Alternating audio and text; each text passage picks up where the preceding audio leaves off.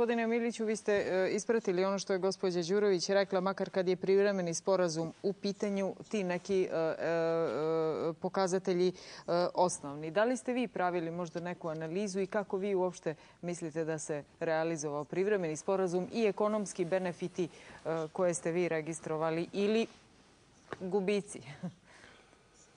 Sporazum o stabilizaciji i pridruživanju je potpisan ne sa vladom Crne Gore, nego sa građanima Crne Gore. Sa građanima Crne Gore koji zaista i od ove emisije i od drugih emisija očekuju da vide neku, neki zajednički cilj koji žele da vide prioritet. Pročitao sam negde skoro jednu definiciju, pa ću je, pročitati, pa ću je ovdje reći, koje se kaže put ka Evropskoj uniji stvara mnoge izazove koje jedino država može rešavati ako su njeno stanovništvo i politički predstavnici jedinstveni. To zahtijeva liderstvo, međusobno poverenje, zajedničke ciljeve i zajedničke prioritete. Moj početak večeras je bio upravo u tom smjeru. Zbog toga što, uh, znate, najgore je za budućnost Crne Gore ako ne budemo mi bili spremni ponovo pokrenuti dijalog. Šta je nas je dovelo do deklaracije o evropskim integracijama i rezolucije ispunjavanja obaveza? Međusobni dijalog. Kada govorimo o sporazumu o stabilizaciji i pridruživanju, ne možemo govoriti po sistemu e, da li smo sve dobili šta smo očekivali. Možemo govoriti po sistemu da li smo znali šta će nas, šta će nas sve čeka na tom putu. 608 strana obaveza. Ne 608 strana privilegije. Ali da li smo kao društvo reagovali na onaj način koji se od nas očekuje? Šta vi mislite? Ne u onom smislu koliko bih ja volio, ne u onoj brzini kako bih to želio, ne e, na način kako to Crna Gora zaslužuje i ne sa punom snagom iz onih dječjih bolesti koje ne možemo da prevaziđemo. Tražeći uvijek krivca. Sad se pokušava pokazati prstom.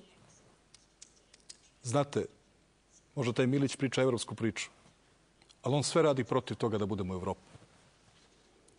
Ali ja bih želio da vidim konkretno gdje je to opozicija bilo što uradila protiv.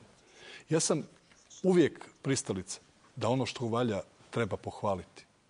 Ali ja priču o evropskim integracijama doželjavam kao birokratsku priču ili kako je rekao jedan od kolega, mogu reći, iako nisam profesor, doktor, no sam ekonomista, kao agentu Štrikova. Ovo je priča o tome da li mi možemo vrijednost u poljoprivrednoj proizvodnji koja je danas u Crnoj Gori 250 miliona evra za sedam godina dovesti na nivo od 500 miliona evra. Da li mi možemo da jednostavno iskoristimo priliku da umjesto što 200 miliona evra Crna Gora uvozi poljoprivrednih proizvoda i ovdje ih kroz turizam potroši, da mi to proizvodimo.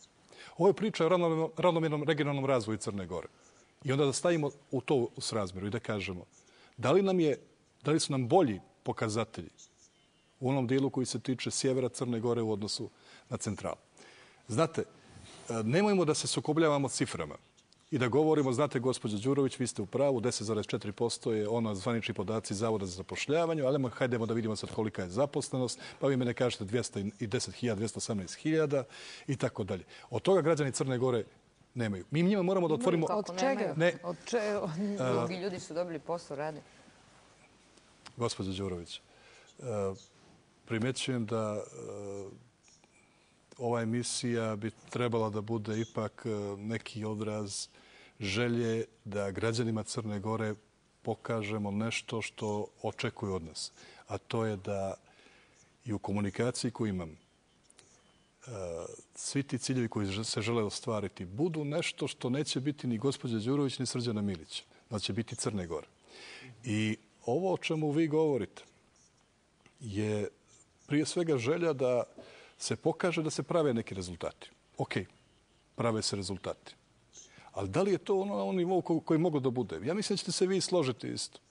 da biste vi želi da to bude bolje, da to bude brže, da to bude snažnije u čitavom tom procesu. Ali da li mi možemo to ostvariti na način da ponavljam, da stvaramo podel? Nije ovo politička priča. Ovo je iskrena priča. Nama e, nisu potrebni. Ja sam ja jednom riječu pomenuo večeras Srbiju. Da li će biti regata ili karavan, to ne zavisi ni od gospođe Đurović ni od Srđana Milića. To zavisi od percepcije Evropske unije koja će odlučiti na koji način će ovaj region. Moja je želja da jasno pošaljemo poruku. Kad govorimo za region, ne želim na balkanski način rešavati problem u regionu. Takođe, ne želim na balkanski način rešavati problem u Crnoj Gori. A balkanski način rešavanja problema u Crnoj Gori je da ne saslušate sagovornika i da ne pokušate zaista da afirmišete dijalog vraćajući se na ovo o čemu govorite, je, i o čemu, šta je tema emisije. Hajdemo da vidimo šta smo konkretno iskoristili. Ja sam rekao gospođe Đurović i u jednom obraćanju u Skupštini Crne Gore da smatram da ste najveći dio ovog sporazuma odlično ispregovarali ili razgovarali ste u onim uslovima koje vam je ponudila Evropska unija. Možda se ne slažemo se u nekim stvarima, to je ono dijelu koji se tiče definisanja nečega što danas inače čeka, mislim će to biti vrlo brzo na skupštinskom zasjedanju, zakon o svojinsko-pravnim odnosima i o pravima e, stranaca da kupuju e, na teritoriji Crne Gore. Ali je to sve nešto što se može, što se može riješiti. Moja je želja bila da kažemo, hajmo da vidimo, da, za mladu Junetinu smo predvidjeli da možemo da izvozimo koliko, gospođo Đurić, 800 tona, je li tako? Koliko smo izvezli mlada Junetine? Nismo još taj aranžman pokrenuli. Zato što nemamo ni proizvodnju, je li tako? Ne, imamo proizvodnju, ali nismo certifikovali laboratoriju. U vašim dokumentima e, se nalazi da mi nemamo proizvodnju mladih netina. Ali nije problem u tome. Imamo, ali nemamo certifikovanu laboratoriju. Ja se izvinjavam ako ste gledali naša dokumenta, tamo tako piše. Ok, nisam gledao. Ispada da nisam gledao tako. Ovaj, ja samo govorim o tome da je jedna stvar što se nalazi u papirima. E, želja mi je bila i kad smo predlagali Nacionalni savjez za evropske integracije i kada ste vi amandmanski djelovali, da jednostavno pokažemo. E, treba svim ljudima u Crnoj Gori otvoriti perspektivu. Ne baviti se s tim. To je ono što, što ja govorim. 10,4% je stopa nezaposlenost. Ne. Gospodo, mi imamo mogućnost da izvozite 800 tona mlade junotine u Europsku uniju.